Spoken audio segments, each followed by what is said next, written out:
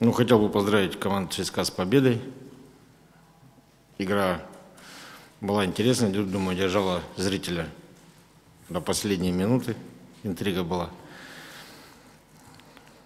Команде ЦСКА, думаю, что чуть повезло. Они забили гол на последних минутах, поэтому они сегодня выиграли. А так игра была, думаю, ничейная, с моей стороны, мне так кажется.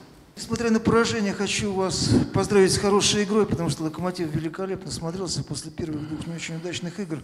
Хотелось понять, э, за счет чего вот за эту неделю команда так прибавила функционально, стала лучше двигаться, динамика улучшилась. Несколько слов об этом. Ну, мы же тренируемся, мы не стоим на месте тоже. Поэтому Тогда- от, игры, от игры к игре будет команда прибавлять, набирать форму, входить Логично. в игровой режим, поэтому... Продолжим тогда вопросы о тактике. Рыбуса было удивительно не видеть на поле 46-й минуте. Почему никак нельзя на его? Он по травме попросил замену, поэтому она была у нас не запланирована, так скажем. Я понял. И как считаете, вот Едвай, Мапаси, это уже связка центральных, которая и дальше пойдет вместе, или это не факт? Ну, пока только они у нас, 23 защитника, и еще черный Артур, который ну, мало игровой практики у него. Больше у нас нет центральных защитников, поэтому... Ну, Дима Баринов уже не рассматривается с этой Ну, парой. едва сыграл сегодня хорошо, потому что его первая игра, он был после травмы. Честно говоря, мы не думали, что он выдержит все 90 минут. Но он молодец, он Спасибо. все 90 минут сыграл. Я вас понял. Удачи в следующих играх. Спасибо. А, Вопрос такой, с чем связываете вот каждый почти стандарт ворот локомотива приводит к такой нервной ситуации? Вот, И Если вы посмотрите, то наша команда не такая высокорослая, поэтому у нас проблемы при стандартных положениях. Поэтому мы стараемся меньше делать угловых возле своих ворот и штрафных. У нас команда не высокорослая, поэтому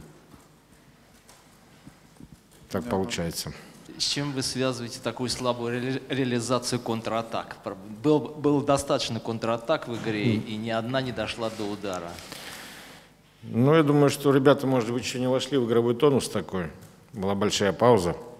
И Рифат, опять был момент, он не забил, хотел бы его, наоборот, как помочь ему в этом, чтобы он переломил. Ему надо забить гол, не идет. Два пенальти не забил, сегодня в пустые ворота не попал. Ну, я думаю, нервы, нервы и возраст у наших молодых футболистов. А в целом ситуация в «Локомотиве», неудачный старт сезона, есть вопросы по будущему вообще модели. Это чувствуется в команде или нет? Ну, команда на это обращает внимание, работает выполняет свою работу.